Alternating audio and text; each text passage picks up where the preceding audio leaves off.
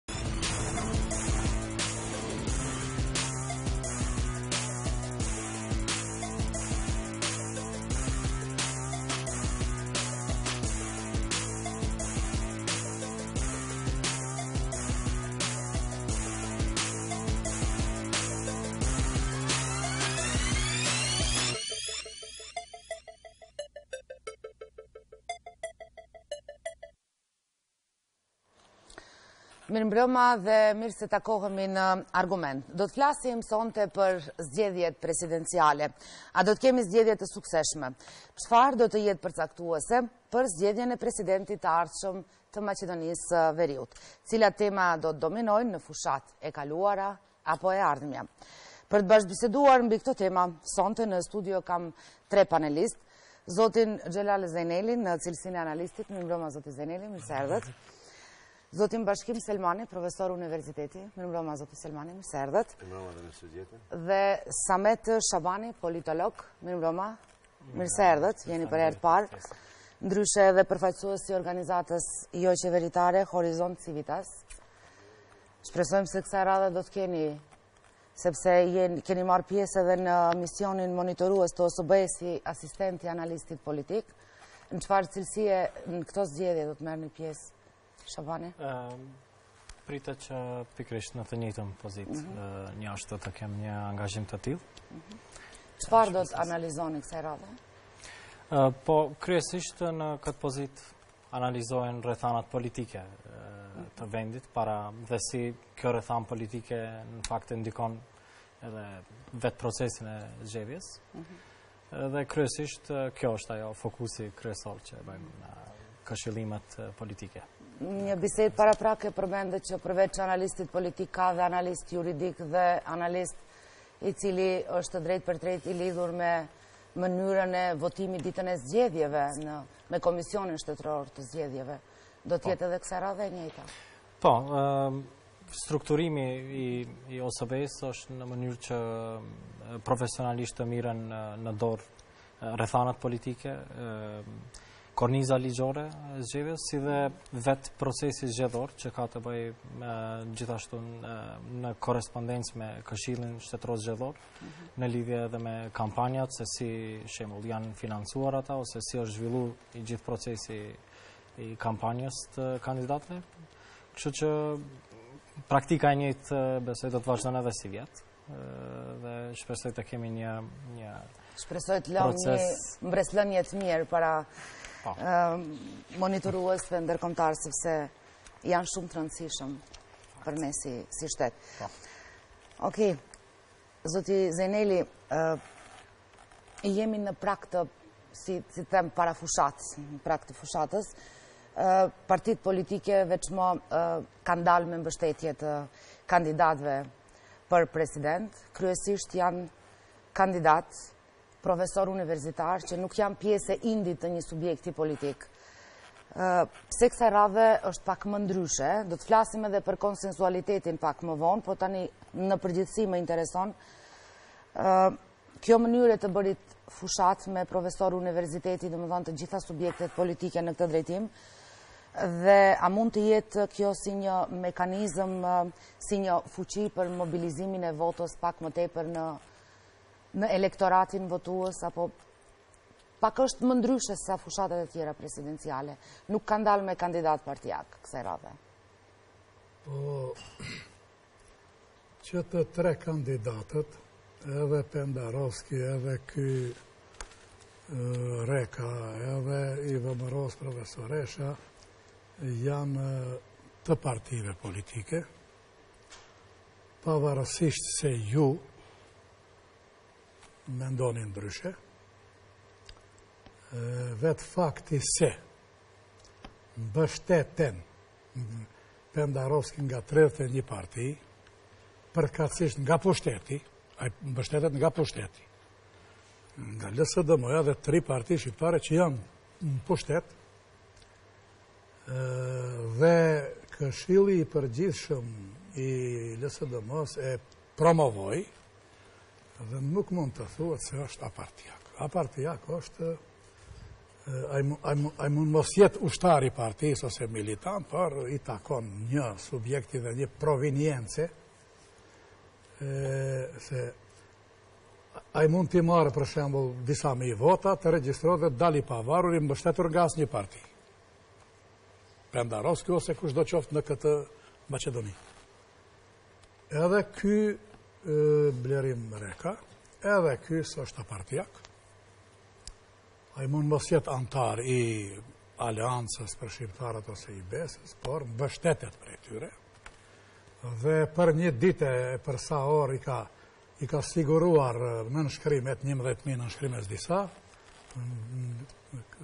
vetëm në bazë të dy partive, subjekteve që e mbështesin, ai ka qenë edhe ambasador, ambasador nuk e kam dërguar unë, as ju, e ka dërguar shteti.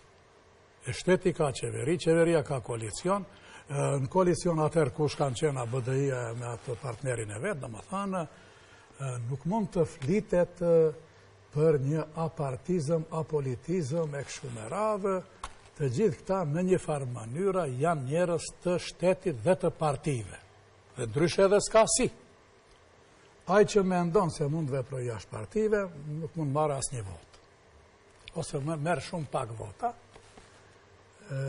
dhe kjo e treta e VMRO-s, e cila pretendon në njëfarë mënyre të distancohet dhe të promovohet si apartiak, edhe kjo është e VMRO-s.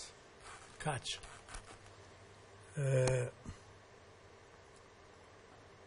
Edhe LSDM-ja, edhe Aleanca me Besën, edhe VMRO-ja i promovojnë si të pavarur.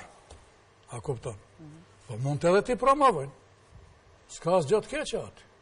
Po sa është ajo kështu e vërtetë, kjo është diçka tjetër. Ata thashë, nuk janë, mund mos kenë edhe libreza, por mbështetjen e kanë prej partive politike, Qoftë maqedonase, qoftë shqiptare. Qartë, po, a mund të jetë kjo një mekanizëm pak më ndryshe për të mobilizuar fuqinë e votuesit? Ne jemi 30 vjet në pluralizëm. Nuk është Maqedonia e nantëdhjetenjëshit. Proceset kanë ecur para. Absolutisht. Mhm. Kjo është çështje e dialektikës dhe e evolucionit. Nuk mund të themi se kemi vend numëruar. Mund mos të jemi të kënaqur aq sa duhet, por jemi 3 dekada, rreth 3 dekada në pluralizëm dhe jemi më të emancipuar sa i përket organizimit, realizimit të proceseve zgjedhore. Mhm. E tashi, që të tre, që të dy kandidatët, janë të mirë. Absolutisht, edhe Blerim Reka, edhe ky Pendarovski. S'ka asnjë diskutim, në krahasim me të kaluarën. Dhe nuk mendoj se, nuk mendoj se të qenët apartiak do sjellë vota. Nuk mendoj. Por personaliteti i tyre, si njerëz të matur, si njerëz të emancipuar, të shkolluar, të arsimuar, të qytetruar, civilizuar, të kulturuar, A kupton, me njohuri të caktuara, si demokrat, si properëndimor, si me përcaktim dhe vizion euroatlantik, ata do vlejnë ma shumë se subjektet që i propozojnë. Me këtë pajtohem. Por se s'paskëshin qenë anëtarë partive anekënej, ta zamë, kjo nuk mendoj se do të çojë shumë peshë. Ma shumë do të mendoj, ma shumë do të vendosë personaliteti i tyre, këta janë, që, që të dy janë njerëz me personalitet, nuk kemi të dhana se janë korruptuar, e kështu me radhë, kjo është. T'i, t'i lejojmë kolegut po, tim të nderuar shokut tim. Zoti Selmani, çfarë mendoni ju? Të shë, shiqohet në prizmën e aspekteve, unë do ta ndaja në dy aspekte. Është pjesa juridike dhe është pjesa politike. Përsa përket mënyrës së zgjedhjeve aktuale, është fakt se me marrëveshjen e Ohrit, struktura shqiptare ndryshoi, dha një kahje tjetër dhe gjitha institucionet u prekën në një formë. Mirëpo, institucioni i presidentit akoma vuan nga ish komunizmi. duke filluar nga ish presidentët që kanë qenë deri tash, dhe asnjë element shqiptar nuk ka pasur, jo vetëm individët, duke filluar nga Gligorovi, Cërvenkovski, Boris Trajkovski edhe ashtu ishte pak më i moderuar, t'i themi, por jo i moderuar në çështjen shqiptare. Dhe po ashtu, presidenti i fundit, i cili jo vetëm shfaqi antishqiptarizëm në veprimet e tija, qoftë në të folurit, qoftë në veprime e kështu me radhë, por ai arriti që edhe institucionin e presidentit realisht ta shndërrojë në antishqiptar. Kjo është faza e parë që gjithë partitë politike shqiptare, edhe pozita, edhe opozita, do të bëjnë një analizë. Dhe pikërisht ne kemi bërë një analizë juridike dhe kemi parë se para këtij institucioni dhe pas, do shohim që elementi shqiptar asnjë frymëmarrje nuk ka pasur deri sot. Domethënë i paprekur. u arrit që të preket kuvendi, institucionet tjera, përveç dhe muzeut kombëtar, siç duket për i vëmë re se ku është aty prej 80 të punësumve, 81 të punësuar ka vetëm një shqiptar. Domethënë, janë dy institucione të paprekura fare, dhe prandaj tash nëse analizojmë priqëmërin e këtyre kandidatëve, është fakt se Maqedonia është fut në një fazë të re. Në këtë fazën e re, është edhe vetë partitë politike shqiptare, meqë nuk e gjetën unitetin e përbashkët, sepse uniteti do të thotë të bashkonte dëmi që është shkaktuar popullatës shqiptare deri sot. Kjo nuk u arrit. Përsa përket mënyrës tjetër, konsensualiteti në aspektin juridik nuk njihet si nocion, po ne i themi bashkëveprim, bashkëbarazi, bashkësynim. Po, një kandidati përbashkët. Ashtu kjo është e përbashkët, për cilën do të thotë që insistohet realisht të formohet diçka e përbashkët mes dy palëve, siç janë shqiptarët dhe maqedonasët. Është një lidhje matematikore dhe juridike t'i themi, e cila nuk lejon as pa votat e shqiptarëve të bëhet maqedoni president, por as edhe e kundërta. Kjo është pjesa e cila të dy palët betejat i kanë të humbura, edhe dëmi që është shkaktuar me ullin e konsensusit bëri që vota shqiptare, mos ta ketë atë peshë që e pati, po është edhe pjesa tjetër që është në interesin e përgjithshëm të rolit dhe funksionit të presidentit, dhe në këtë rast, të analizojmë veprimet dhe logikën juridike, ka tri elemente bazë, elementi i parë është zgjedhja lokale, që në këtë rast shqiptarët dalin dhe japën votën e tyre për zgjedhësin e tyre, po ashtu dhe zgjedhjet kuvendore, që dalin shqiptarët dhe japën votën e tyre për personin e caktuar, po ashtu do ishte shumë e kapshme që Vota shqiptare të jepet për zëvendëskryetarin shqiptar dhe do të kemi një paralele të strukturuar. Kjo flasim për mundësitë juridike cila do të ishte më e mira që deri tash partitë politike shqiptare nuk kanë arritur që të analizojnë cili do të ishte elementi i asimetrisë prej këtyre tri institucioneve dhe atëherë ne dinim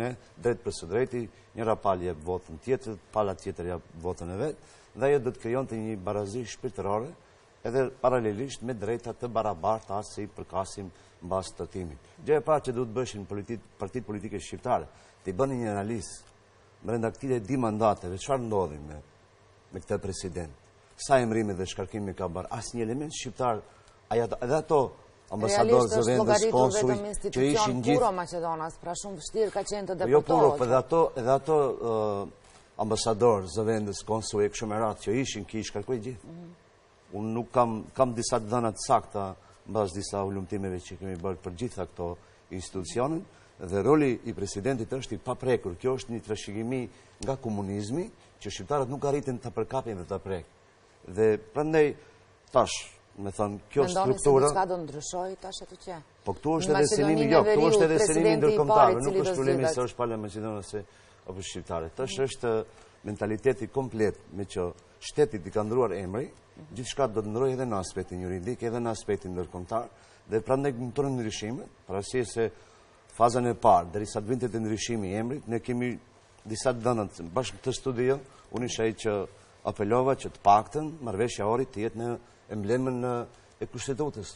Sado që ne kemi të drejtë të reagojmë se nuk i kanë plotësuar edhe unë jam njëri ato që nuk janë realizuar të drejta që duhet, mirëpo është fryma historike dhe veçtendit. Dhe në këtë rast edhe atëherë u bë gabim që roli i presidentit nuk u kap në këto marrëveshje si funksion, dhe ne do kishim shumë pozitë të ndryshme. Prandaj ma tepër duhet merremi me pasojat që i ka shkaktuar presidenti, pasandaj cilat do të ishin mundësitë për të prevenuar që të jemi në bashkëpunim e sipër, dhe besoj që partitë politike kanë marrëveshje të caktuara që ne nuk i dimë, por ashtu nuk mund të flas për asnjërin nga kandidatët, për arsye se nuk janë akoma platformat e tyre se çfarë do të veprojnë dhe çfarë duhet të bëjnë. Mirëpo, faktori politik shqiptar nuk ka vënduar asnjë kusht. Si do t'i dalim në publik e të kërkojmë votën, kur ne personalisht jemi jashtëzakonisht të dëmtuar, sepse në drejtësi thuhet të riparohen, plotësohen dëmet që janë shkaktuar, me të njëjtën të paktën përfundonte me një aktpadi ky zotëriu. Dhe këtu është problemi esencial që tash do krijohet një hapësirë kur votën shqiptare do kërkohet nga të shkojë dhe do të bëhet një çështje me të cilën ne frigojmë shumë që mos vejë krejt kjo energji e votuesit që në fund votat Nuk e di si do menaxhohen dhe mos të rezultojë që përfitojmë një vend ambasadori qoftë në vende të ndryshme ose rrethana të caktuara. Këtu është problemi i asaj që ne presim, po do të jetë mirë që këto janë dy elemente bazë që nuk i kemi bërë. Thashë, aty ku nuk ka unitet... Pasi është e rëndësishme që të ketë një lloj konsensualiteti si ide, si strategji jo. edhe në institucionin e presidentit, edhe po, në pra. të ardhmen, pavarësisht cilat subjekte politike, pa... Ashtu siç ndodh në qeveri, po, qeveria pa një subjekt politik shqiptar nuk mund të funksionojë, realisht. Pra ne tash është me rëndësi si do të gjinden, dhe këtu duhet një bashkëpunim mes pozitës dhe opozitës, kur dihet se kandidati shqiptar nuk mund t'i marrë votat. Dhe tash këto vota do të kenë një peshë më të mirë, sikur të arrihet dhe të realizohen këto këto synimet.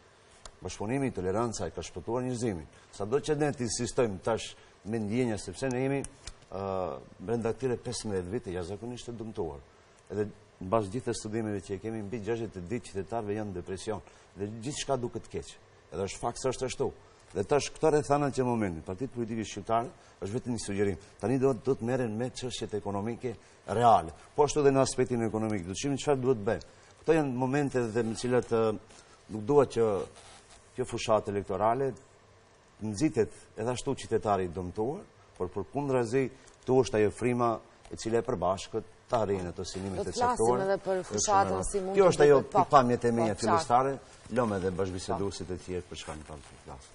Shaban Urma, çfarë mendoni ju për këtë pjesë? Po, fillimisht do të kisha dashtë të ndërlidhem edhe me ato që u potencuan tash edhe nga bashkëbiseduesit. Në këto zgjedhje presidenciale kemi një, një, një natyrë ndryshe nga herët e kaluara. Pikërisht është vetë fakti që u potencu edhe ma herët që kësaj radhe kemi të bëjmë me profile akademike, Kjo është madje një ndër pikat e përbashkëta, të themi të tre profileve. Por megjithëse duhet të potencohet se zotëri Blerim Reka ka një i dominon gjithashtu edhe ai profili diplomatik që ka pas në Bruksel gjatë 10 viteve të kaluara. Domethënë, në këtë kontekst, mendoj që Zotëri Blerim Reka disi posedon një lloj përparsie në aspektin e një profili pak më të theksuar edhe akademik, edhe politik, edhe diplomatik, më fali. Ndaj kuj? Ndaj dy kandidatve tjerë, kuptohet. Një ashtu një tendencë tjetër që vlen të vlerësohet, ndoshta është edhe ajo që të tre kandidatët aktualisht mundohen, kanë një tendencë të tregohen sa më modest ose të themi më afër qytetarit që nuk i nuk i takojnë asaj elita akademike të shkëputur nga shoqëria. Këtë e shofim edhe nga PR-i, disi edhe i profesoreshës Siljanovska po edhe i profesorit Pendarovski deri me tani, me sa arita të shoh, me, me atë narrativën që është mentor i mëparshëm i studentëve dhe disi, domethënë me këtë lloj PR-i, ka një tendencë të ipet një fotografi sa më modeste para opinionit publik. A është pozitive sipas jush kjo? Kuptohet, kjo është një një mënyrë mjaft produktive për kanalizim të mesazhit të tyre, së pari tek opinioni publik. ë Po ashtu edhe edhe pika që u cek, domethënë është edhe ajo që ka një tendencë të vazhdueshme tek tre kandidatët të promovohen si mbipartiak, nga vet ana e vet partive politike. Si dhe me këtë tendencë Natyrisht ka ka një një synim që të targetohet një një elektorat ndryshe nga ajo që dihet e vet partisë. Bile bile në këtë kontekst ishte mjaft interesant edhe një ndër postimet e fundit të zotëri Stevo Pendaroskit ku e kishte publiku një foto përderisa ka qenë si këshilltari i politikave të sigurisë të zotëri Boris Trajkovskit, më herët, presidentit të mëparshëm, domethënë disi një tendencë që të ndikohet apo jo elektorati i VMRO-DPMNE-së. Në këtë kontekst, shifet një, një, një llojllojshmëri, edhe pse gjithashtu filluan gjithashtu të japen edhe sinjalet e para se si do t'i përçojnë më tej edhe kampanjen kandidatët, vetë kandidat. Pikërisht e shofim edhe një përfshirje mjaft të drejtpërdrejtë në politikat e përditshme tek sidomos tek zonja Gordana Siljanovska, e cila tani për tani në vazhdimësi i ka ka një lloj tendence të të përfshihet drejtpërdrejt në në politikat e përditshme. Kjo mendoj që së paku për një profil që pretendon presidencialen ose pozitën presidenciale ndoshta mund të ndikojë negativisht tek edhe tek elektorati sepse Apo jo pritet nga nga presidenti pritet që të mbajë një qëndrim pak më apolitik në çdo aspekt, të jetë mbipartiak edhe në praktikë dhe jo vetëm në narrativë. Ëm në këtë kontekst mendoj se do të ketë një lloj një lloj konflikti të them mes zonjës Siljanovska dhe zotëri Pendarovskit për përçimet e mesazheve, sidomos me rrethanat politike të fundit. Në këtë kontekst, besoj që do të zhvillohen edhe edhe kampanja të ndryshme, sidomos në me fokus tek Marrëveshja e Prespës. Mhm.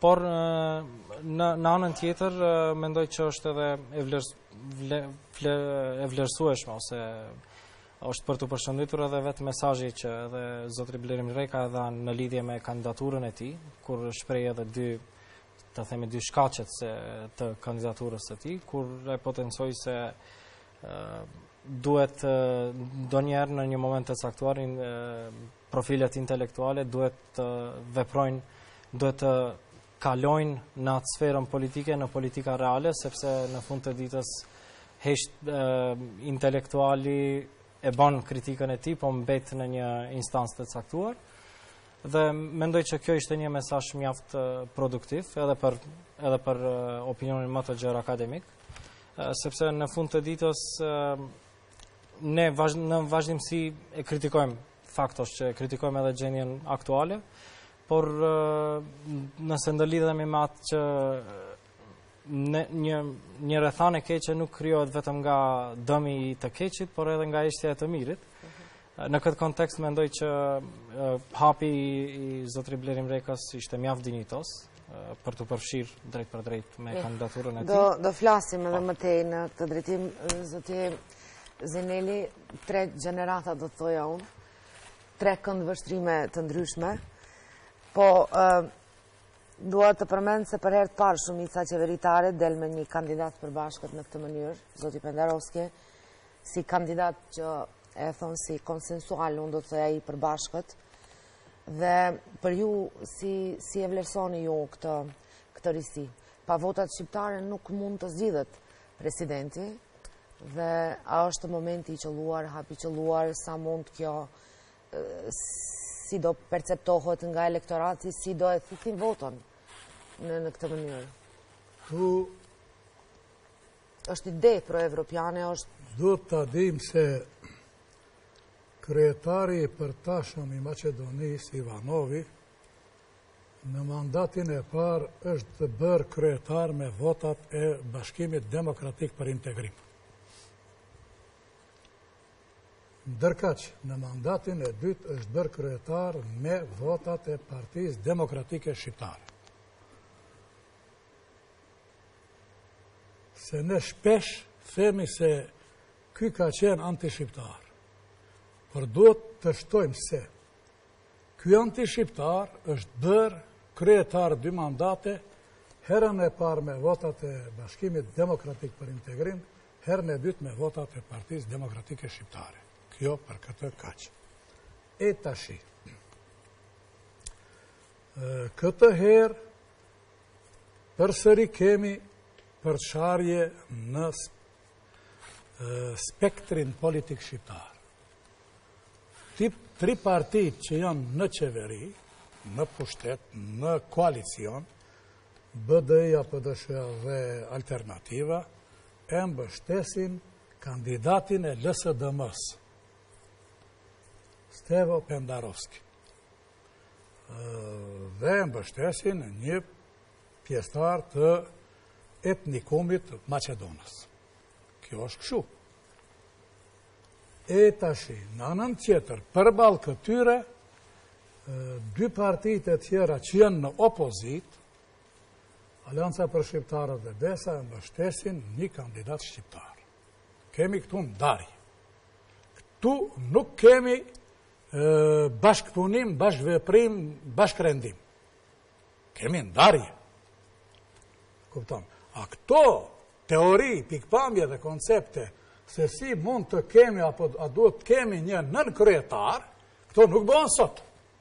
Ja, jo, është diçka që... Këto, këto, këto, dashtë të ishte bërë para 2 vjetëve, 5 vjetëve, se duhet ta dimë se do vijnë zgjedhjet.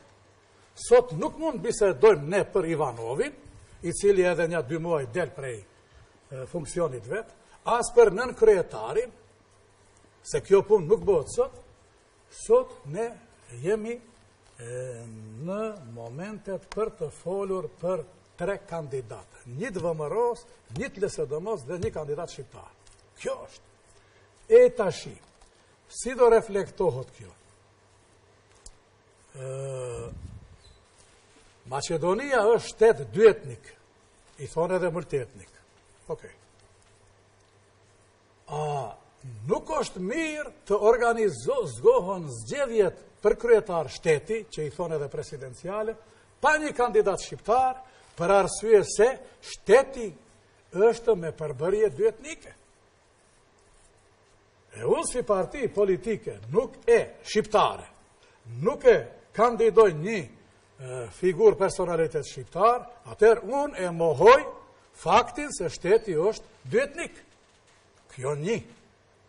Domethënë, unë nuk kam të drejtë dhe nuk është mirë as për të tashmën, as për historinë, as për brenda opinionin e brendshëm, as për faktorin balkanik Dhe ndërkombëtar që të mos dal unë me një kandidat shqiptar.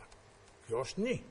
E dyta, unë në qoftë se nuk nxjerri si shqiptar një kandidat shqiptar, ia parandaloj mundësinë demokratike një maqedonasi të votojë për një kandidat shqiptar. Ku e dimë ne, ne nuk mund të themi a priori se nuk do votojë. Mundet edhe të votojë. Këtë të drejtë ne nuk e kemi, se kështu e, e ngulfatim aspektin demokratik. E tashi. Mendoj se shqiptarët në raundin e parë duhej të dilnin me një kandidat të përbashkët.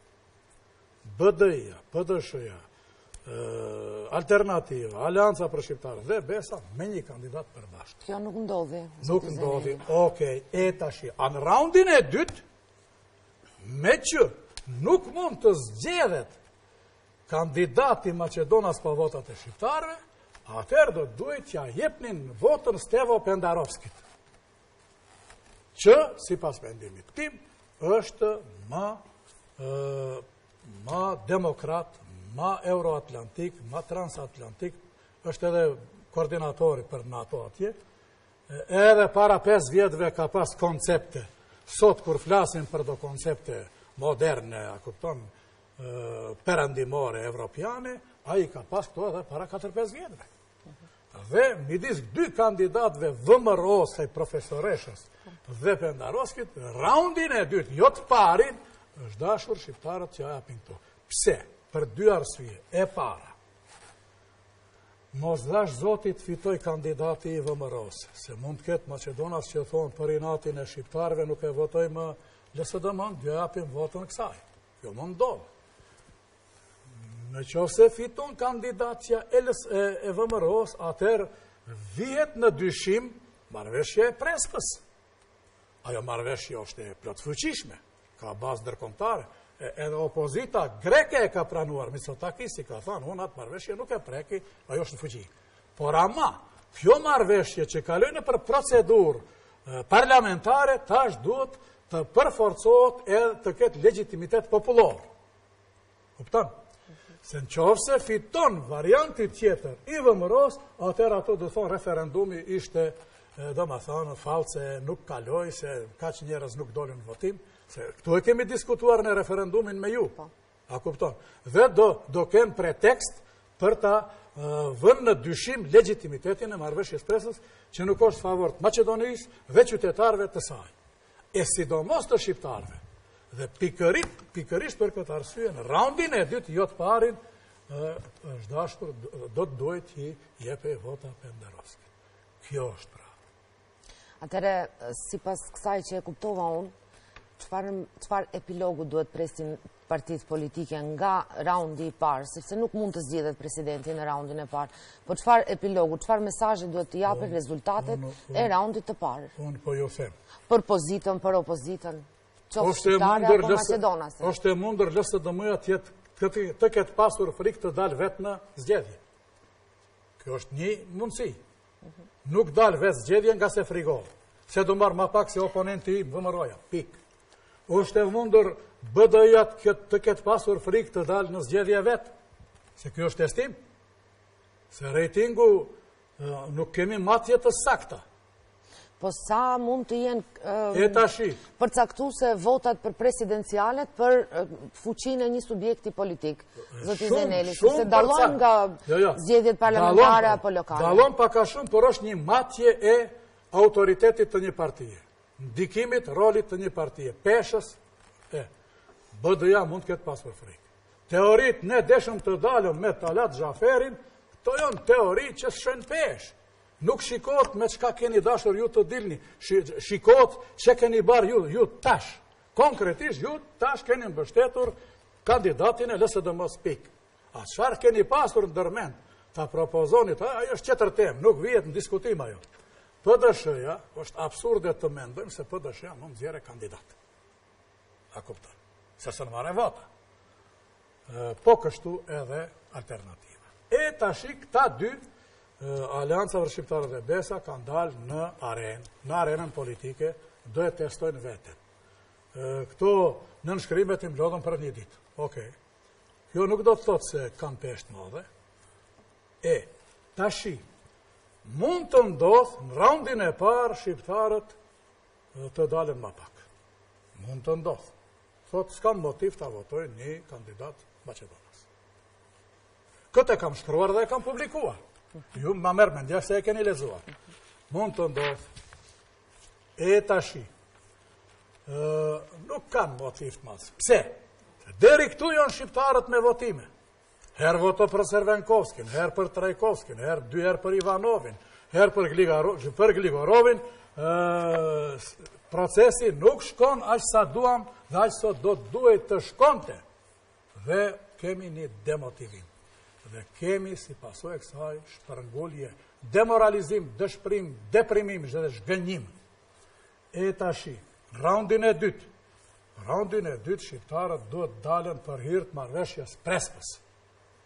Raundin, se shqiptari nuk besoj se do bëhet kryetar shteti. Matur sipas votave. Raundin e dytë duhet të votojnë Pendarovskin, nuk flas për raundin e parë, për t'dytin në mënyrë që të përsëritet skenari i procedurës në parlament kur u bon ndryshimet kushtetuse. U bashkuan shqiptarët, BDI-ja, PDSH-ja, Alternativa, Aleanca dhe Besa dhe i bon ndryshimet kushtetuse dhe u ndrro emri i shtetit dhe hyrëm në NATO. Si, si mundësi për të çelur bisedimet më një qershor për në BE. A kupton. Qoftë se nuk ndodhë kjo, zoti mos e dhashtë, fitojë kandidatja e këtyre, VMRO-s, atëherë Maqedonia ngec. Proceset n'Maqedoni ngecin dhe mund shënojmë hapa retroaktive, hapa prapa. Dëgjojmë pak zotin Selmani? Lidhje me... Dëgjuam shumë lidhur me këtë që u tha ndërmjet nga zoti Zeneli. Të mirë, të jo, po, mendime personale. Ideja për... Eh, ideja, si ide, si koncept për një kandidat të përbashkët. është për herë të parë që... është fakt që... e thatë ju pak më parë e cekët pak. Po. Kemi një moment me të cilën po. unë personalisht mendoj që frima e re po. nuk kupton që politika është arti i së mundshmes. Mhm. Edhe realisht për sa i përket këtire veprimeve dhe mendimeve për personalitete të caktuara, unë për zonjën Siljanovska nuk do të bisedoj aspak, për arsye se i përket një plejade të shumë mendimit të përbashkët kolektiv ndaj çështjes tonë reale dhe ka pas grupacione të tilla që kanë thënë se nuk na duhen votat e shqiptarëve dhe shqiptarët në përgjithësi kemi të fiksuara këto lloje komentesh. Realisht për sa i përket kandidatit të ditë, është fakt që fillimisht para se të kandidojë, domethënë ta paraqesë kandidaturën zoti Blerim Reka dhe opozita shqiptare herë pas here jepte sinjale se do jetë mbështetëse e zotit Pendarovski. Po këtu në këto zgjedhje presidenciale shpresojmë të ketë dy momente, një ndryshimi i individit si personalitet, kushdo që të jetë ai, mhm. dhe e dita ndryshimi i institucionit president, që të ketë një frimë ndryshe. Mhm. Dhe kjo do jetë e mirëseardhur për gjithë. Pjesa e dytë, për sa i përket aspektit të menaxhimit të votave shqiptare, realisht dyshoj se mund të vijë fundi, sidomos në pjesën e dytë, se si do menaxhohen këto vota dhe sa do të përfitojnë. Do të përfitojnë subjektet e caktuara, apo do të përfitojnë Qytetarët, ku do varet nga uniteti i përbashkët, flas për opozitën, se këtu mund të kemi edhe një qasje që vetë kandidati thotë unë kam dalë i pavarur, i kam këto vota vetë dhe është një autorësi individuale dhe opozitare me të cilën varësisht se cilat rrethana... Mirë, opozita, zoti Selmani, këtu vetëm mbështeti kandidatin e pavarur, në këtë rast, zotin Reka, uh, Po këtu mendoj që... Dhe pse e bëri këtë, pse nuk doli me një kandidat partiak, dhe priti momentin e fundit, domethënë. A është që t'i ikë përgjegjësisë në rast të... Unë besoj që... Për shembul të mosarritjes së votave, aq sa ato mendojnë se do të arrijnë në rrethin e parë t'i sigurojnë dhe pastaj të thonë që ja është kandidat i pavarur, është përgjegjësia e tij, etj, etj. I ikim përgjegjësisë, apo... Opozita shqiptare akoma nuk ka qasje nuk ka qasje reale për votën reale se edhe këto zgjedhje presidenciale që do të ndodhin që të merren në këtë rast për zotin Blerim Reka nuk do të thotë që ato votat do jenë të opozitës që të zotërohen prandaj thashë ka një pjesë të amullisë mes këtire rrethanave se si do të menaxhohet se dihet shqiptarët në përgjithësi saktë 220.000 vota Ka pasur zgjedhjet presidenciale të fundit, 150.000 vota i morën kandidatët shqiptarë, duke ditur ishte zoti Selmani 120.000, edhe disa numra të tjerë ishin kandidatë të tjerë, por megjithatë do të jetë mirë që kushti elementar. Unë kam frikën time personale, për sa i përket kompetencave të presidentit, mhm. për sa i përket emërimeve, për sa i përket shkarkimeve, për sa i përket konsujve, domethënë Nuk ka dalë opozita ose ne në përgjithësi, opinioni pak ka njohuri sa këto janë të përfaqësuar, sa është përfaqësuar përfaqësia reale e shtetit të Maqedonisë. Ishim në armatë, emërimet e gjeneralëve të fundit që u bënë, asnjë shqiptar nuk ndodhi. Ne në drejtësi themi, pa e analizuar gjendjen faktike paraprake, nuk mund ta riparojmë ardhmërinë. Dhe në qoftë se ardhmërinë ne do ta riparonim, do të ndalemi në argumentet bazë. Dhe kjo është me rëndësi. Realisht, kjo qeveri i kaloi ato, nuk e jo, ka komplekse për punën e... Jo, jo, është... Për shembul, pse një shqiptar duhet të jetë në krye të një institucioni, e kemi sot, zotin Xhaferi, kryetar parlamenti, unë mendoj se me këto kjo qeveri nuk ka jo, në një ka pas në jo, kompleks. Por të jemi real. Për dallim nga qeveritë e tjera me VMRO-në dhe kompromise. Kompromise ne kemi dy momente. për shtetin si nocion, pra Republika e Maqedonisë, deri sot gjitha ligjet që ka pas dhe ka funksionu me element gjoja demokratike, mirëpo ligjvënësi ka pas qëndrim negativ. Dhe tash në këtë rast, kjo parti si duket, LSDM-ja edhe me emërimin e kryetarit zotit Talat Xhaferi, u gjind një unitet bëni një lloj tolerancë e cila jep shpresa se mund të kemi kompromis edhe me rolin e presidentit. Ky, ky institucion i paprekur është, aspak nga shqiptarët. Dhe prandaj them duhet të gjejnë modulet. Deri tash nuk janë gjetur, fajësinë e përmendi profesori aty për partitë e ndryshme që janë pjesë e fajësisë, ne nuk largojmë asnjë nga fajësia, Por këtu jemi tash për ardhmërinë çfarë mund të ndodhë nga këta kandidatë. Prandaj unë e thashë po që në fillim se a do të dominojë e kaluara apo e ardhmja në këtë fushatë, a do të jetë kjo një katalizator për t'i rregulluar të gjithë këto... Për momentin është herët të flasim, për arsye se dy kandidatët, dy kandidatët, akoma nuk e kemi lexuar platformën, po ashtu edhe... Po çfarë mund të ketë për shembull në platformat kur dihen Cilat janë detyrat e presidentit janë të caktuara, janë jo, të kufizuara me kushtetutën jo, jo, e ligjë? Jo, me kompetencat dhe funksionet ajo është e paraparë në aspektin kushtetues dhe mm. ligjor. Flasim për këta dy presidentë, çfarë do të ofrojnë, mm. diçka që ta ofrojnë votën, të binden qytetarët, dhe vota duhet të jetë e lirë.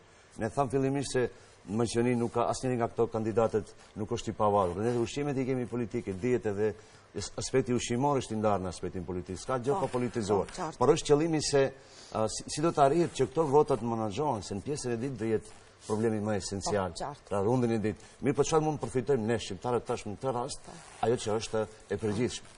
Kjo është. Zoti Zejneli, më fal vetëm pak, Shabani, desha t'ju pyes sa do t'i, a do t'jenë suksesshme këto zgjedhje në përgjithësi? Zgjedhjet do t'jenë... Që pastaj me ju do ndërlidhem. Zgjedhjet do t'jenë 100% suksesshme, mhm. do t'jenë të qeta, pa asnjë problem, A kupton. E të mos flasim për, për, për, për probleme që mund të ndikojnë në epilogun rezultatin që nuk do të ndodhë, për arsye se Maqedonia 30, 30 vjet organizon zgjedhje, 25 vjet vjet zgjedhje jo korekte, jo demokratike, jo të pastra. njëzet e pesë vjet.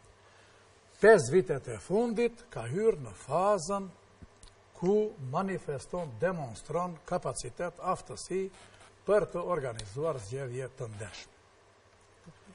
E VMRO-ja i, e, i kontestoi këto disa rezultate të referendumit pa argumente.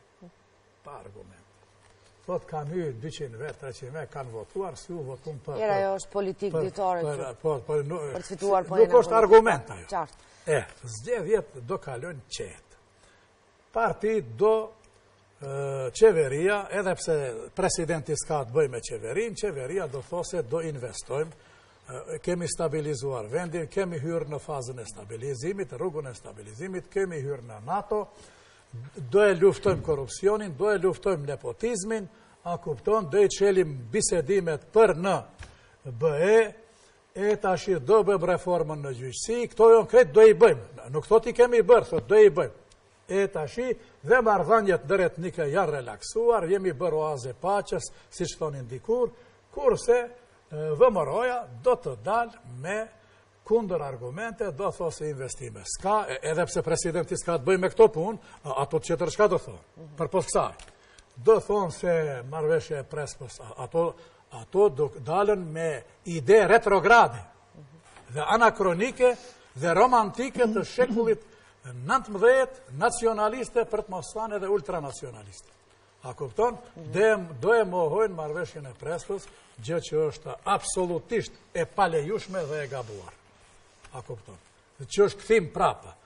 Do thonë se kjo është një parti e pareformuar, VMRO është parti e pareformuar. Do thonë se ka nepotizm, do thonë se nuk ka asnjë investim, do thonë se ngecin proceset e kështu me radhë, kështu do zhvillohet ajo betejë, Retorika domethënë në rrafshin verbal. Probleme fizike nuk do ketë, kurse Aleanca me Besën që e mbështetin Blerim Rekën, i cili është intelektuali për rrethanat tona i dorës së parë, se ju pyetët pse. Nuk është kollaj të, të, të gjesh ti një kandidat. për kryetar.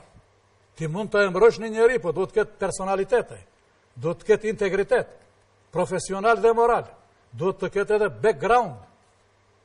A kupton? Edhe, edhe këto dy parti që e mbështesin Blerim Rekën, do të kritikojnë qeverinë. Se vetë nuk janë qeveri. Po të ishin qeveri edhe ato do e mbyllnin gojën. Çdokush që sot që sot te Edi Rama është në tepsi, ose në sofër, është qeveria dhe shteti i mirë. Ai që është jashtë tepsisë dhe sofrës, shan qeverinë. Mos t'ia marr kohën, kolegut tim. Sipas zotit Zeneli, do dominojë retorika ne dhe ata. Po, pjesërisht do të isha pajtu me faktin që gjatë referendumit e kishim pikërisht të njëjtën retorikë, kishim vetëm dy tabore gjatë gjithë kampanjës dhe kjo ndoshta do ta tregojë vazhdimësinë e vet, po. Ë por vlen të potencohet gjithashtu se ë kandidaturat aktuale reflektojnë edhe një realitet të ri politik në Maqedoni. Kam përshtypjen se shkohet në një lloj në një lloj sistemi ku kemi vetëm tre kanalizime. Një tabor që është në baza etnike nacionale e maqedonasve, një tabor i theksuar tek shqiptarët në në baza etnike nacionaliste dhe ajo të themi e përbashkëta, ose ajo që vetëm se potencuam si konsensualja në një aspekt. Uh, kjo në një, në një farë mënyre mendoj që edhe reflekton atmosferën e re politike që po formësohet në Maqedoni. Ky formësim uh, në vete do të sjell edhe sfida të reja, besoj në vitet e ardhshme në skenën politike, sepse përgjatë viteve të fundit, sidomos në 5 vitet e fundit,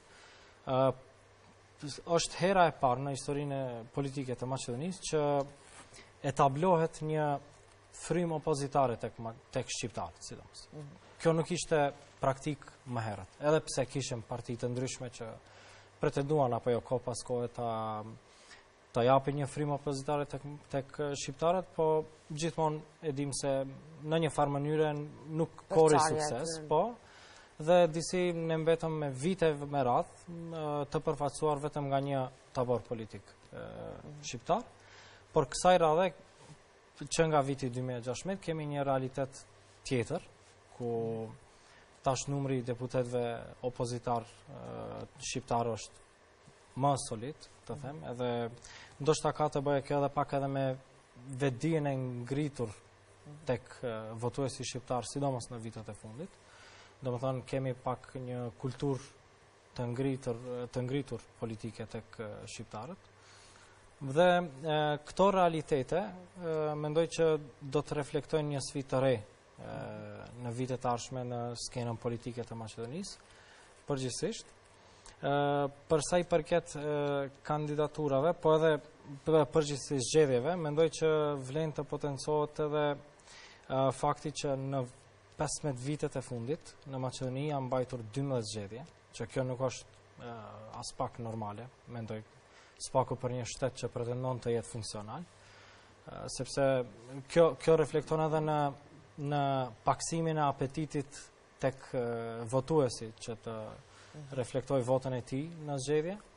Do më do me thënë kemi një rënie të qëndrueshme, kjo mund të ndërlidhet edhe me faktin që vazhdimisht ballafaqohemi në vitet e fundit edhe me, me një krizë të re sociologjike të ikjes masive të popullatës.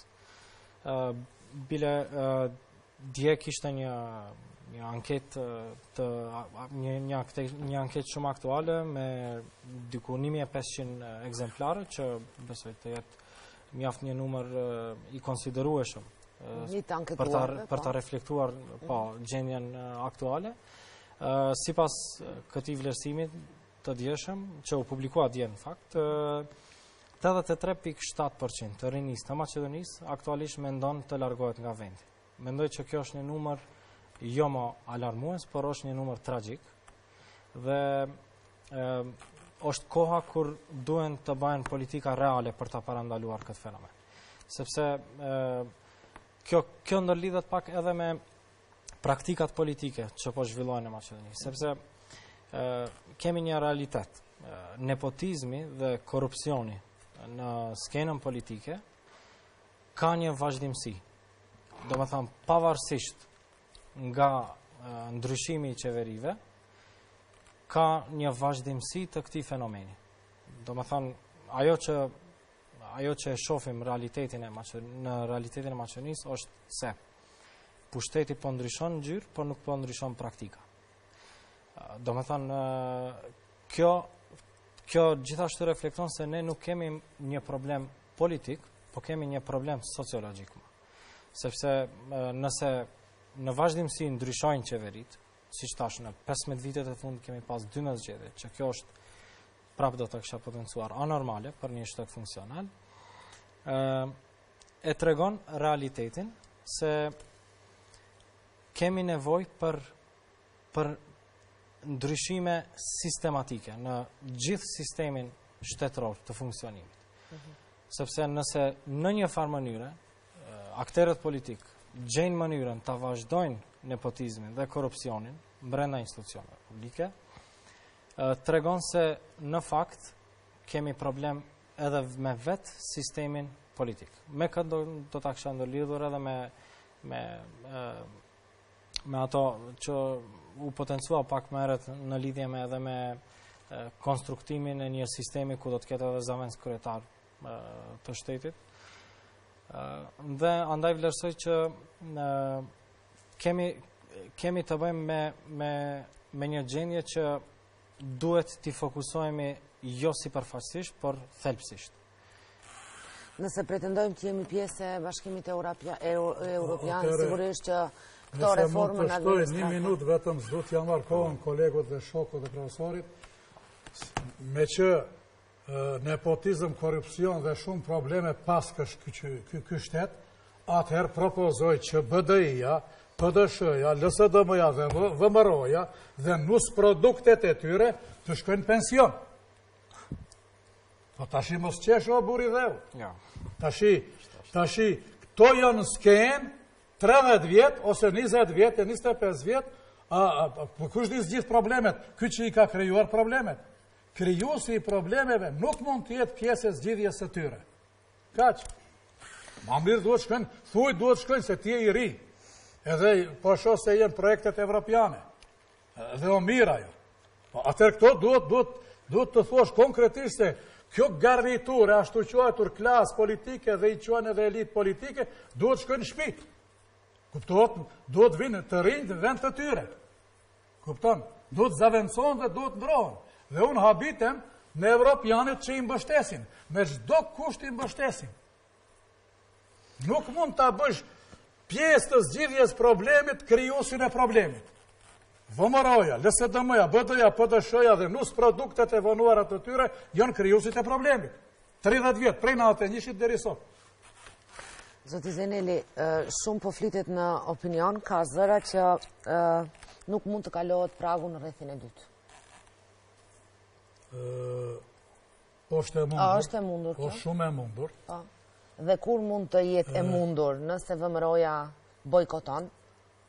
Sepse Mickovski nuk është që ka bërë thirje për bojkot realisht. Në qoftë se bojkoton VMRO-ja, atëherë do të shuhet si parti.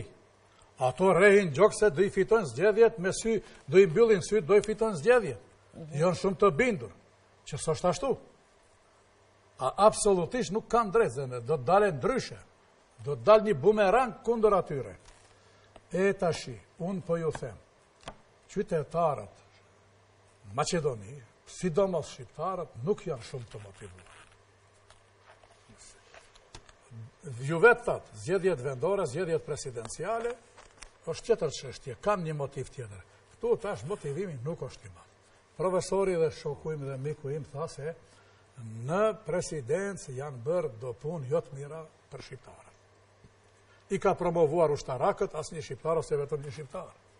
Kemi vazhdimisht përvoja të hidhura nga presidenti. Atëherë, nëse kemi përvoja të hidhura vazhdimisht, pse BDI-ja e votoi Ivanovin raundin e parë, po desha raundin e dytë, mendoj, mandatin e dytë. Atëherë, tashi ne i votojmë njerëzit që nuk punojnë për ne, apo që punojnë kundër nesh. Prandaj po pys që mos përsëritet Gjorgji Ivanovi i dytë. si duhet të veprojnë subjektet politike. Shqiptarët, shqiptari nuk mund bohet, shqiptari nuk mund bohet, tashi kjo dihet, po, matematikë e thjeshtë është ajo. Nuk kemi këtu tash çka bëjm nacionalizm dhe patriotizm të rrejshëm. Shqiptari, atëherë, unë mendoj se duhet mbrohet Marrëveshja e Prespës, dhe kjo bëhet bash duke e mbështetur raundin e dytë këtë Pendarovskin. Po. Pik. A ka gjasa reale që VMRO-ja të bojkotojë? Në një po. mënyrë. Nuk ka gjasa. Atëherë do të shuhet si parti. Edhe ashtu janë në shuarje e sipër. Por ama, unë po ju them, juve një gjë. Këto tri partitë shqiptare, BDI-ja, PDSH-ja dhe kjo, si e quen këtë, quaj Besa, tash është Alternativa, kupton? Këto tri parti, sidomos në krye me BDI-në, Si duket duan ta përqafojnë konceptin qytetar të krijimit shtetit. Kupton ti? Që nuk është mirë. Ky shtet është dyetnik, është shtet shqiptaro-maqedonas. Pikë. Të shkojmë në koncept në krijimin e shtetit, të shkojmë të mbështesim konceptin të krijojmë shtet qytetar në një shtet dyetnik, ku ku nëntëdhjetë e nëntë për qind të pushtetit e kanë maqedonasit, vetëm një për qind sot e kësaj dite shqiptarët, kjo nuk është teori e mirë. Dhe kjo çel rrugën që BDI-ja edhe satelitët e tjerë, PDSH-ja, të hyjë në aleancë ta zëmë me partinë maqedonase në pushtet, ta zëmë me LSDM-në edhe zgjedhjet parlamentare. A kupton? Se s'do kenë ndoshta edhe guxim, as LSDM-ja, as BDI-ja, PDSH-ja, jo se jo, edhe do thonë, hajt bëjmë vllaznim bashkim dhe hymë zgjedhjet presidenciale bashkërisht, ato parlamentare, njësoj si në zgjedhjet presidenciale. Këto thonë multikultur, multietnik, ne e dim këtë nga koha e Josip Brozit, kupton ti, ai thoshte vllazërim bashkim midis kombeve dhe kombësive. Këto tash na thonë, Evropa e thotë, Këto thonë multikultur dhe multietnik. Kjo është vllazërim bashkim. A vllazërim bashkimi i Jugosllavisë së AVNOJ-it dhe i Josip Brozit u shpërbë me luftë me 200.000 të vrarë. Njërë, atëherë Zoti Selmani, po. çka mendoni ju, mund të... A ka gjasa që mos të po, kalohet pragu në rrethin e dytë, po? Rundi i parë shumë karakteristik, mhm. meqë do jenë tre kandidatë, me thënë këtu nuk janë si zgjedhjet kuvendare, dhe drejtpërsëdrejti po. dilet të fitohet, po është fakt që VMRO-ja duke njohur dinakërinë dhe veprimet e saj, Se gjithmonë qoftë edhe me deklaratat aktuale, qoftë qëndrimi ndaj gjuhës shqipe, nacionalizmi i tërbuar deri tash që kanë mhm. uh, shprehur, po ashtu dhe toleranca e tërbuar e shqiptarëve dhe partive politike shqiptare deri sot, ka bërë që VMRO-ja të ndjejë një komoditet psikologjik. Dhe çdo gjë që nuk fiton, ajo di ta bojkotojë. Unë kam dilemat mhm. se në pjesën e dytë mund të bojkotojë, Në rast se mund të pësoj humbje përsa i përket votës, nëse nuk i men nuk i merr ato vota që ajo i planifikon për t'i marrë, mhm. atëherë të thotë se jo se ka pasur po, manipulim në shërë, janë të hapur rakë të Me këtë retorikë që e ka, jo, retorika nuk e ka reale, nuk është mhm. reale se ne do të fitojmë ato, s'ka dihet ato, mhm. momentet e fitimit tani më kanë ndryshuar edhe mentaliteti edhe tek votuesit, edhe tek anëtarët e VMRO-s, gjithë qytetarët në Republikën e Maqedonisë, sidomos tek maqedonasit, nacionalizmi i tyre Sa vota sipas jush do të mund të fitonte VMRO-ja në rrethin e parë? Jo, për të vendosu për të bojkotuar Ta shumë nuk do, nuk do që nuk jam njohës i mirë i mhm. numrave që të manipuloj për arsye se mund të parashohim në atë prizëm mirëpo janë shumë faktorë mhm. e para është faktori i mbrendshëm për arsye se vetë VMRO-ja mbranda nuk gjeti atë unitetin e përbashkët se kishin afër 5-6 kandidatë ishin mbrenda saj dhe aty mbrenda ka shumë përçarje, ku një pjesë dërrmuese e këtyre 3-4 kandidatë dhe të tjerë, realisht mund të, të, të kenë kompromise të caktuara dhe me pushtetin, sepse dihet që ai që ka pushtetin, ka dhe hapsirat e veprimit që t'i, t'i ndërrojnë votat apo t'i kontrabandojnë. Dhe vetë VMRO-ja është e përçarë mbrenda, dhe këtë kandidate, domethënë, përkrahin vetëm ato nacionalistët, të themi, se ajo votë, momentin që është zgjedhë kjo kandidate, ajo identifikon nacionalizmin maqedonas, qoftë për rrethanat e caktuara, por duhet të kuptojmë gjithë ne se nacionalizmi më është me ndërrimin e emrit, mhm. është varosë njëherë e përgjithmonë. Mhm. Dhe tani është fakt që tash si gjindemi ne, me drejtë profesori, thotë se multikulturalizmi, bashkëveprimi e kështu me radhë, duhet të themi në çdo ngjarje ato janë nocione juridike, bashkëveprim në vendimmarrje. Bashkëveprimi në vendimmarrje nënkupton kur dy palë janë të barabartë. Dhe kjo është realiteti që LSDM-ja tash e ka kuptuar realisht se është faktor politika shqiptare. Unë shpeshherë në nocionet e përditshme që përdorin mediat, qoftë politikanët edhe neve shqiptarët, Shpeshherë kur bëhet fjalë për shqiptarët maqedonasit, thjesht thuhet maqedonasit dhe të tjerët. Të elaboroj mhm. për çështjen e po. minoritetit, për arsye se ne nuk jemi të tjerë, flas edhe për nocion politik, edhe nocion juridik, edhe të gjenjës faktike. Pse? Sepse dua të dëshmoj atë që thotë profesori se ne jemi të barabartë, sepse kemi tri elemente bazë. Është pozita gjeografike, është pozita juridike, komunale, që i kemi mbi 17 komuna në nivelin juridik, po ashtu kemi dhe aspektin historik.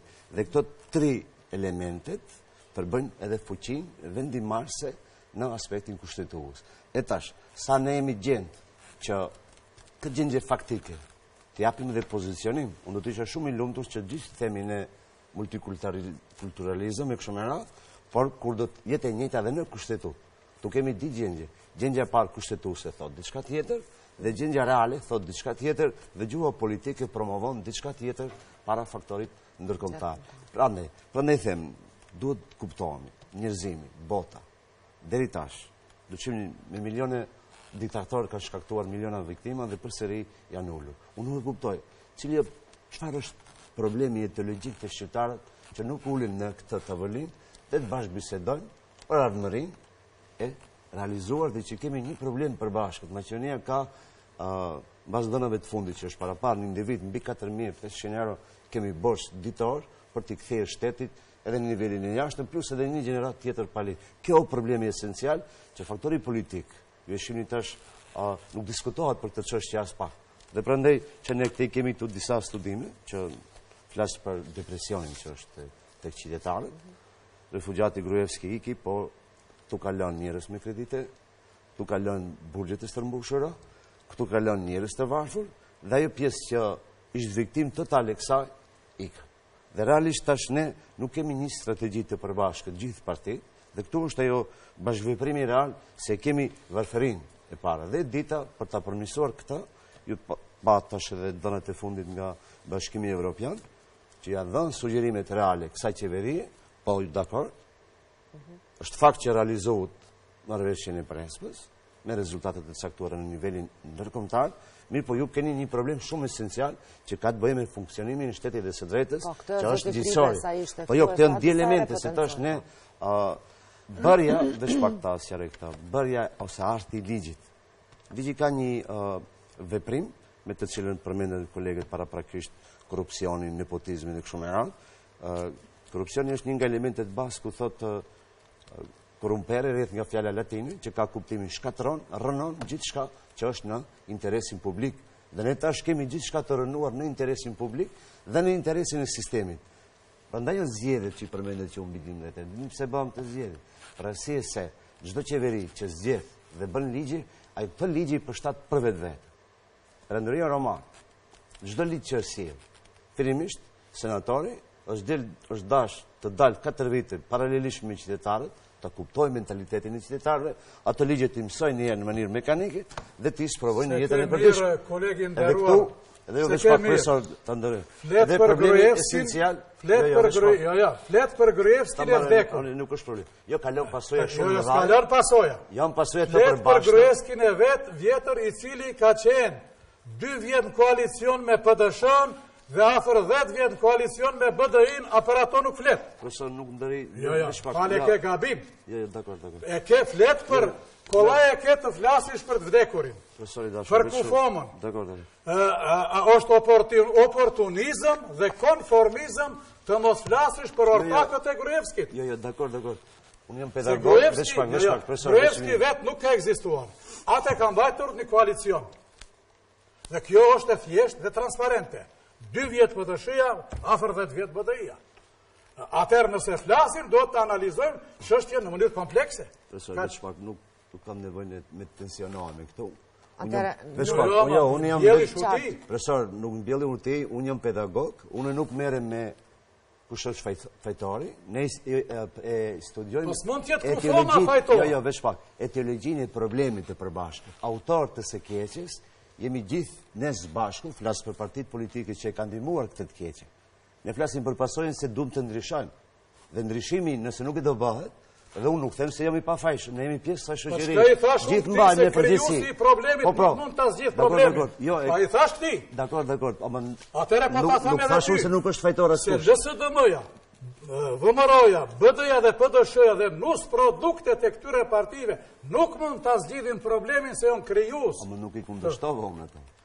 Ti s'mund t'i kundërshtosh se ti mban qëndrim oportunist. Jo, jo, nuk mbaj qëndrim, unë flas qëndrim me mbas studimeve që i kemi. Këto janë probleme, domethënë të qytetarëve, në aspektin e ekonomisë. Dhe ekonomia ka rënuar diçka. Me një ekonomi të rënduar ne nuk mund të themi, sepse ka drejtësi, pse flasim, ne edhe partitë politike. Cilat parti politike? Këto partitë politike Cilado qoftë ajo, që njëzet vite sa jemi këtu, ligjin e ka shndërru të kriminalizuar, dhe ligji o bashkautor i krimeve. Këtu o problemi esencial, dhe kjo ka bartë me vete të gjithë ne që ndjehemi keq, edhe realisht si të shërohemi nga këto, se nuk o problemi i individit, edhe partitë politike nuk i fajson, as nuk i shfajson askush ato. Nuk ka dalë drejtësia për fat. Ky është problemi esencial, sepse nuk funksionon gjyqësori.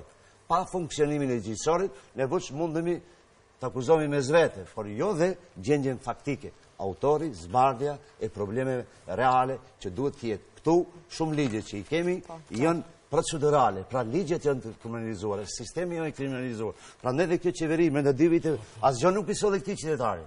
Ky është problemi esencial, dhe këtu, ne flasim që shifni, çdo i treti administrator ka nga 2-3 kredi. Kjo është një situatë e rëndë, Dhe thashë pak ka rëndësi cila do jetë mënyra a do jenë do koalicionojnë ato apo këto. Në drejtësi ka një rregull, nuk ka krim pa gjurmë. Dhe nuk jom unë ai që ta detektoj problemin cili është fajtori. Po jon problemet shkaqet, sepse në drejtësi thuhet, nëse nuk mbështetemi në argumente dhe prova, dhe t'i themi se këto janë fajtorë dhe këtu problemi është se dhe vetë sistemi është problematik nëse nuk ndërhijet në veprimet e sistemit dhe çdokush të sprovohet me drejtësinë ballë për ballë atëherë nuk do të kemi zgjidhje dhe këtu është problemi esencial cili nga qoftë duke filluar nga partitë politike qoftë nga liderët që i votojmë ne që i votojmë ne partitë po politike që i votojmë ne ashtu cili nga to dhe deputetët jo, jo, që i nxjerrin ato jo, ligjet të partitë kriminale Po, jo, janë po, kriminalistë. Ata po, deputetë, ne i shojmë. Po, individi... Ne që jemi këtu. Dakord, dakord. Individi, individi, çdo individ, anon kah vetvetja. Rregull natyrore. Dhe tash, unë, kur anoj kah vetvetja, do të thotë që e bëj edhe ligjin të anojë nga një parti e caktuar, ose nga një nacionalitet i caktuar. Dhe ne prapë votojmë. Mirë, ajo është problem... Mandatin tjetër me të katër, prapë votojmë njëjtë. është bindje qytetare, atë nuk nuk mund ta ndërrojmë, është fakt. Atëherë... Jo, jo, veç pak të, të përmbyllim një pjesë e shqipëri. Pjesa e parë, dhe po. pjesa e dytë po ashtu që kemi të bëjmë me këto elementet e ligjeve dhe ndryshimeve të tjera, nëse nuk do të ndërhyhet në aspektin gjyqësor, në aspektin ekonomik, që unë e kam pritë edhe nga faktori ndërkombëtar, Maqedoni, e bëri punën e vet. Ku janë të mirat materiale, shpëtohet nga kjo katrahurë disi. Dhe ka një problem tjetër, nuk është vetëm në Maqedoni. 68% të qeverive ballkanike thotë funksionojnë krimin e organizuar. Kjo nuk është problem, se këtu ka edhe krim ndërkombëtar. Nuk është problemi se cili është fajtori. Paratë kanë dalë jashtë shtetit. Dhe prandaj jemi në këtë pozitë. Kush do eliminojë këto?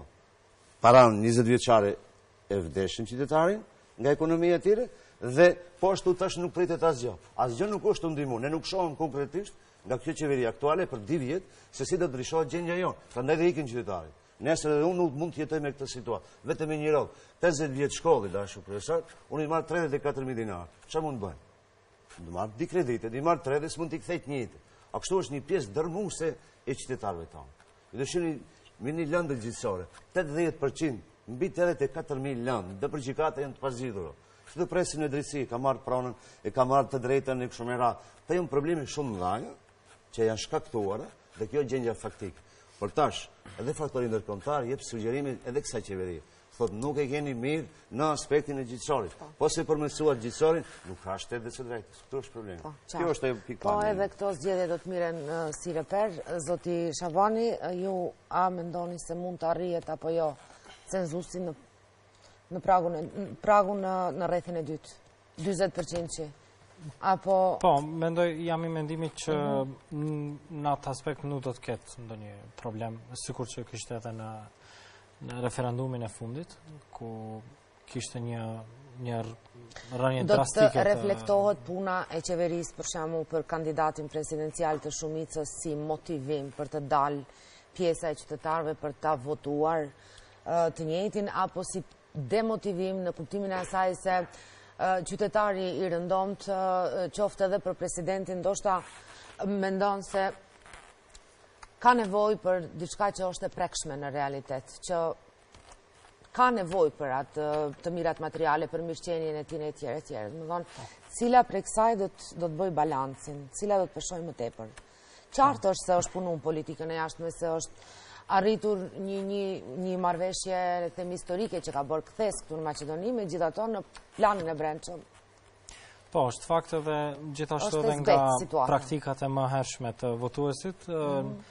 Ne përgjithësisht e kemi një kulturë politike që çdo herë pa marrë parasysh se cila zgjedhje është në mhm. cila zgjedhje është në radhë, qoftë lokale ose referendum ose pa marrë parasysh, kemi tendencën ta ndëshkojmë qeverinë aktuale në zgjedhjen faktike që është në atë moment. Kjo qoftë për lokalet, siç thashë, ose qoftë në një referendum, ose qoftë në ndonjë zgjedhje presidenciale. Mendoj që edhe kjo, edhe kësaj radhe do të reflekton, mhm. sepse në fund të ditës, siç u potencua edhe këtu, kemi një një pakënaqësi nga nga qeveria aktuale në në esencën e saj pasi që pretenduan dhe erdhën me atë premtimin se do të bëjnë reforma shumë strukturale, por siç u potencua në këta dy vitet që kaluan nuk pamë diçka thelbësore në aspektin e mbrendshëm, siç e potencuat edhe ju, disi dominoi shumë Tejmase edhe ajo politika e jashtme, të themi, ose rëndësia, ose vlerësimi që kjo qeveri ia dha politikës së jashtme, dhe jam i mendimit që kjo do të reflekton, po, tek zgjedhjet presidenciale, në disfavor në një farë mënyre tek qeveria aktuale, në këtë kontekst mendoj që sidomos kjo do të reflekton edhe tek votuesi shqiptar, tek tek LSDM-ja në zgjedhjet parlamentare. Mendoj që ai ai numri ai numri solid që flis flitej në atë në atë zgjedhje parlamentare të fundit 2016-s që pretendohej të ishte deri 70000 vota, mendoj që kësaj radhe do të ketë një kahëzim kah profesori Blerim Reka më kon konkretisht Andaj do të jetë mjaft interesant në kontekstin e rezultateve, por në kontekstin e konsensusit nuk nuk nuk mendoj që do të ketë. Si duhet duhet të jetë veprimi i subjekteve politike shqiptare në rrethin e dytë? Opozitës shqiptare. Mirë, nëse shkojmë në atë, të themi në atë a priori se në, në, në fazën e dytë do të kemi dy kandidatët maqedonas, mendoj që Nuk kemi dilemë në atë që kultura politike ose apetiti i votuesi shqiptar do të gazon ka zotëri Stevo Pendarovski. Këtu ndoshta do të do të ketë ndoshta edhe ndonjë mbështetje të hapur edhe nga opozita shqiptare, ndoshta në këtë në këtë situatë faktike ku në fund të ditës Në fund të ditës dominon pragmatizmi se a të zgjidhet një një presidente nga tabori nacionalist maqedonas apo një një president që siç u potencua edhe këtu ka një profil pak më të butë sa i përket narrativës edhe po, diskursit politik uh, nacionalist. Po, ndonjë bojkot eventual nga nga e VMRO-DPMNE-së? Mm, në rrethin e dytë? Në rrethin e dytë, jo. Mendoj që nëse konkretisht kemi një Një situatë ku do ta kemi zonjën hipotetikisht do ta kishim zonjën Gordana Silanoska dhe zotëri Stevo Pendarovski në raundin e dytë. Kuptohet që do të jepet do të jepet një vlerësim tejmase sidomos raundit të dytë. Edhe këtu do të përdoret edhe ai momenti i pakënaqësisë edhe tek votuesi maqedonas për sa i përket edhe ndodhive të fundit rreth qeverisë, e dimë se në fund të ditës marrëveshja e Prespës kaloi në mënyrë shumë politike, duke i dhonë amnesti tetë deputetëve të VMRO-DPMNE-së. Mendoj që edhe kjo lloj kjo lloj situate po dhe miratimi i ligjit për gjuhët besa në elektoratin definitivisht edhe kjo edhe kjo do ta ketë rolin e saj andaj mendoj që VMRO-DPMNE-ja sidomos në raundin e dy do do të do të mundohet të thekson maksimumin e saj për ta për ta targetuar elektoratin votuesit maqedonas të cilët janë të pakënaqur disi në një farë mënyre nga politikat aktuale të qeverisë.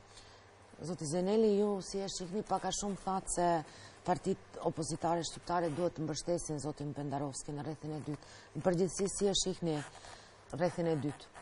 Unë mendoj se VMRO-ja nuk do kalojë pa vota. Nërën e vesh. Në raundin e parë, LSDM-ja nuk do marrë pak vota jo, po a do arrijet pritshmëria e tyre është çështje për të diskutuar. Ato vota, ato që i marrën, thonë se i marrën 400.000 vota, gjithmonë i marrën, ato do i marrën. Ato luftojnë për ma shumë. Dhe ato do thonë se Marrëveshja e Prespës e ka varrosur Macedoninë, kauzën macedonase, historinë, kombin, identitetin, kupton, do lujnë këtë letër. Ato duhet, ato tjetër argument nuk kanë. As ky s'është argument, po sipas tyre është. E tashi ato me të madhe do lujnë në këtë letër, si dhe në ligjin për gjuhën, për ligjin për përdorimin e gjuhëve. Edhe në këtë letër, siç thatë dhe ju. Në mënyrë që ta bëjnë për vete domethanë elektoratin macedonas kundër LSDM-së.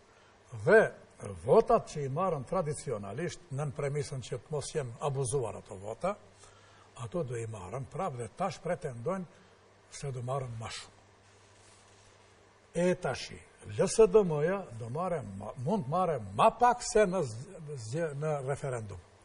Bashkë me shqiptarët morën 650.000, mbi 600.000. 37% ishte. E, tash do marrën ma pak. Pse?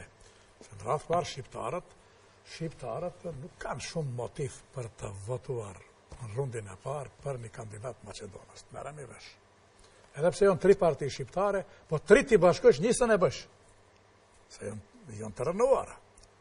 Jonë domethonë me autoritet të dyshimtë, me renome, me prestigj të me shënojnë rënie ato. E tashi, Shqiptarët në rundin e parë nuk është i mirë që ky Pendarovski, merremi vesh, ky është i mirë, nuk e diskutojmë, por shqiptarët pak do dalën të votojnë. Ai ka pritshmëri të madhe, ka umut, ka shpresë, do më votojnë se unë jam demokrat, liberal, pro-evropian, nuk jam ksenofob, nuk jam nacionalist, jam modern, e kshu me radhë, krejt në rregull është ajo, nuk e vëmë në dyshim këtë. Por, megjithatë do dalën pak. BDI-ja s'i ka në xhep votat, të thotë na be burrë ti, këto votat. Asnjë subjekt politik. Ai do apelojë, kush del del. Mund dalën, simas mendimit tim, 20% e elektoratit ta zamë BDI-së, 10% e fshin votën kështu, 10% mund edhe ushtarët partiakë që janë ata strukturat, ato mund të votojnë, 10% mund të fshin, diku 20, maksimum 30% të antarësisë të tyre, kjo mund dhe. A me qyte qytetarët mos prit vota, nuk e japin. Tashi, që të jetë Blerim Reka, djetaj nuk ka matematikat e tregojnë se nuk bëhet. Sa do marrë, ato dhe e testojnë dy partitë veten, Besa dhe Aleanca. Unë mendoj se, nëse duhet edhe ndërkombëtarët me ndërhy, ndërkombëtarët nuk thonë voto andej ose këndej, merremi vesh, amerikanët për shembull. Ato nuk përzihen, por ama për mbarvajtjen e proceseve, që mos ndalen procese, mos hasin pengesa, mund të ketë takime me ndërkombëtarë. A kupton dhe do të ketë, dhe është mirë të ketë, dhe në raundin e dytë jam shumë i bindur se do fitojë Pendarovski. Pra, sipas jush do arrihet cenzusi, 20 vjetë. Absolutisht, pa, nuk mund të bojkotojë, si të bojkotojë. Po nëse merret, nuk do jetë pa vota. Nëse merret për bazë, po, nëse voton edhe VMRO-ja, po. A raudin e dytë VMRO-ja s'mund t'i shtojë votat. Asnjë votë s'mund të... S'ka shqiptar që do votojë për VMRO-në, ta dini. Absolutisht. Mund paguajnë edhe kujt diçka miell, vaj e, dikush mund paguajë, nuk them VMRO-ja, dikush mund paguajë, kupton, vota nuk do marrin te shqiptarët. Pse? Me fajin e vet. Dhoma gazi për shqiptarët, vdekje për shqiptarët, për femrën shqiptare zi e ma zi, nëpër stadiume, nëpër tenda para parlamentit natë e nishin, shqiptari i mirë është shqiptari i vdekur, shqiptarët janë indianë, indas, janë indianë, kështu s'merren votat. Moho gjuhën, për gjuhën shqipe, mos e nënshkruaj, mos e dekreto, dekreto, ku shpie kjo? Edhe thanë, çka tha? Mickoski tha, marrëveshja e Prespës nuk është votu prej qytetarëve, prej Maqedonasve. Domethënë, është votu prej Shqiptarëve, që neve s'na quan qytetarë të Maqedonisë. A ai i quan, domethënë, votues vetëm Maqedonasit. Po si pret vota prej Shqiptarëve. Kjo kandidatja e tyre thotë, unë jam, kam lindur në një, në, në, në një shpi turke. Po këto janë muhabete boshe. A vllai im është vllazëruar në moshën 16 vjeçare me një shqiptar. Pa kështu bëhet politika. Po një fjalë s'e kam dëgju nga kjo zonjë para 3 4 5 vjetëve thotë se po Albert shqiptarët janë qytetarë të këtij vendi. Përse jemi ne kaq ksenofob dhe shqiptarurrejtës? Për fund një pyetje, ju pak a shumë e përmendët, po, po a është institucioni Kishte diçka që tani? Do të lidhem me profesorin, është fakt që për sa i përket tjera rrethanave, nëse shkohet dy taborë, pra në këtë rast tabori VMRO dhe Pendarovski dhe profesori mhm. Blerim, realisht në raundin e parë kam dilema se mund të vijë VMRO-ja dhe elemente tjera që i përmendët në krahasim dhe të kë votuesin maqedonas, shkaku i gjuhës e kështu me radhë që janë bërë do elemente, atëherë kjo do të jenë votat e përçara realisht dhe VMRO-ja mund të vijë, prandaj këtu është dilema edhe e bojkotit për arsye se mund të marrë një vot ma tepër të zonë mes këtyre dy kandidatëve dhe të në falë ju i manipulu tash votat votimin edhe nuk da që ta prishë këto. Ato kanë shumë dinakrej edhe nuk është nacionalizm vetëm individual. Nacionalizmin individual, VMRO-ja si subjekt, arriti ta funksionojë edhe shtetin të atillë. Ne kemi edhe sot institucionet, edhe pse është kjo qeverisje. Institucionet gjitha funksionojnë me nacionalizm. Dhe kjo është e keqja e madhe që unë realisht du t'i bëjmë publike këto defekte që janë shumë dhaja. Prandaj kam dilema në këtë pjesë që janë opsionet personale që që mendoj, pjesa tjetër, përsëri e them, që është shumë e rëndësishme për ne shqiptarët. Gjitha votat që do t'jepen kandidatit shqiptar, është fund të rezultojë me sukses. Sido të ishte suksesi. Jo, të menaxhohen për një vend, ose për një çështje ambasadori. Por është problemi ne, Nëse kemi njëqind e nëntëdhjetë e katër ambasadorë, prej tyre njëzet e pesë jenë shqiptarë, nëse kemi kaq konsuj, prej tyre të jenë kaq, paramendoni një ambasador në Kosovë, Shqipëri, vende që i kemi shqiptarë, pra është e maqedon, është e palogjikshme e ndodh kjo. Seriozisht, janë disa gjëra që bën më shumë, këto vota, Edhe pse ne e dimë se do humbi ky kandidat. Mirpo, këto të menaxhohen në fund me një përkujdesje atëherë gjithë do jemi të përfituar se këtu është interesi kolektiv i jonë dhe ne duhet të emancipohemi të mendojmë në mënyrë kolektive. Historia do i shënojë gjitha padrejtësitë që kanë ndodhur. Ju e shihni tash edhe votuesi dhe elektorati shqiptar komplet kanë ndryshuar.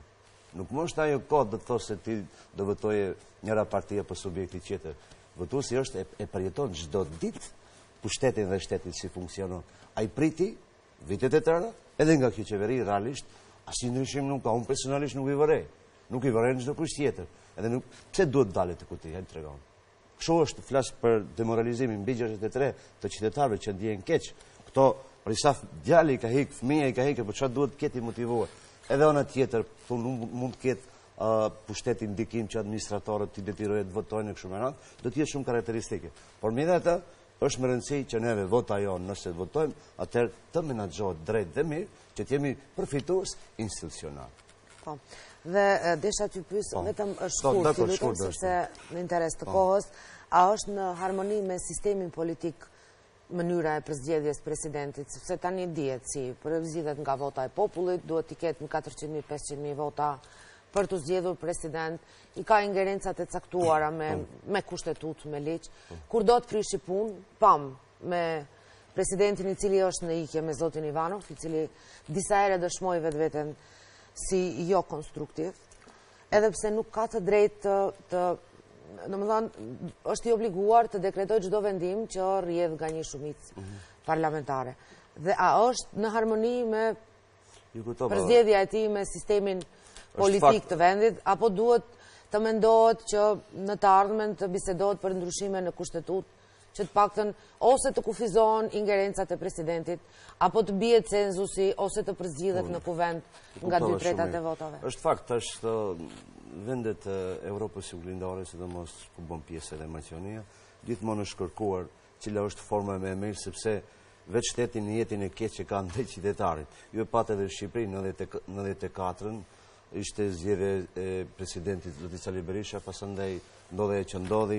Kuvendi është është tregu për këto vendet ballkanike më praktike, mhm. sepse është përçarja shumë e madhe dhe shumë subjekte ka, dhe interesat shumë ndahen mes tyre, dhe shpesh e godit vetë qytetarin. Unë mendoj që në bazë kuvendit, në të ardhmen, pas këtyre zgjedhjeve, shumë është me rëndësi, që votës shqiptare të ketë zëvendëspresident, është një nga elementet bazë, për arsye se do të ketë legitimitet dhe ndihet një institucion i barabartë se logjika juridike këtë e kërkon. Unë nuk flas për këto zgjedhje, por flas shqiptarët duhet të zgjedhin, të analizojnë situatën faktike dhe pas tyre të kërkojmë ajo që është interesi jonë i përgjithshëm. Nëse ne themi shtet i barabartë, dhe ne jemi të barabartë, sepse kemi barazi gjeografike edhe historike, mirëpo nuk ka barazi juridike. Dhe kjo barazia juridike do të arrinte edhe presidenti zhveshet nga ajo e kaluara dhe atëherë besoj që do të kemi më shumë komunitet. Zoti Zeneli, shkurt ju lutem, sepse kemi shumë pak, dy-tre minuta. Unë nuk jam që kryetari i shtetit të zgjedhet në kuvend. Për arsye se Maqedonia është shtet dyetnik. është në interes të shqiptarëve që kryetari i shtetit në këtë vend të zgjedhet në popull. ku në asnjë rast meqë tabori maqedonas gjithmonë ka dy pole dhe do ketë, se është demokraci, në asnjë rast në këto dy pole nuk mund zgjedhet pa shqiptarët. Dhe është në interes të faktorit shqiptar këtu në Maqedoni që kryetari zgjedhet në popull i, i shtetit dhe jo në kuvend. Kjo është. Dhe cenzusi nuk është mirë të bjerë. Nëse bie cenzusi, prap shkon në dam të shqiptarëve. A nëse e zgjedhim n'kuvend, nuk është vështirë ju, për shembol, 5 deputet t'i bleni, kupton, ose t'ua lidhni duart, edhe të votojnë për ju, dhe ta zgjidhni kryetarin. Çfarë kryetari është ai? Prandaj, duhet ta zgjedhë populli, si, sikur është tash. Dhe Maqedonia është me sistem gjysmëpresidencial. Juridikisht profesori e din, Maqedonia nuk është si Amerika dhe Franca, po, ato po, janë po. sisteme presidenciale. Maqedonia është me sistem gjysmëpresidencial. Inge, presidenti ka do ingjerenca të kufizuara kaq. Atje në Francë dhe në Amerikë është krejt do atë. Qartë, shkurt ju lutem. Po, edhe unë jam i mendimit që posti presidencial të të jetë në praktikë nëpërmjet votimit nga ana e qytetarëve. Njëherësh duhet të potencohet këtu se edhe të tre kandidatët disi sinjalizojnë që në rast se do të zgjidheshin, do të mundohen t'i pakësojnë kompetencat e tyre dhe ta ta bëjnë këtë pozitë sa më simbolike, së paku kjo shifet nga nga debati aktual që mbahet nga vetë të tre kandidatët. Ë uh, njashtu, kjo sado që të jetë simbolike, domethënë kjo kjo pozitë sado që të që të bëhet edhe, edhe më simbolike, mm -hmm. aq është edhe e rëndësishme dhe domethënë se që simbolikisht qytetarët ta zgjedhin njeriun e partë të shtetit. Domethënë, kjo është ajo ajo ontologjia se sovraniteti i takon popullit në fund të ditës dhe mendoj që edhe në këtë aspekt, por duhet ta gjejmë një mënyrë se si t'i konsolidojmë zgjedhjet në një zgjedhje të njëshme, domethënë t'i... Të harmonizohen. Të harmonizohen që mos të kemi zgjedhje gati se çdo vit, kjo së paku është çka ajo që praktika e shteteve të avancuara demokratike. Unë ju falenderoj jashtëzakonisht shumë që ishit sonte pjesë e këtij paneli në Argument, ndërsa juve të nderuar shikues, ju falenderoj për vëmendjen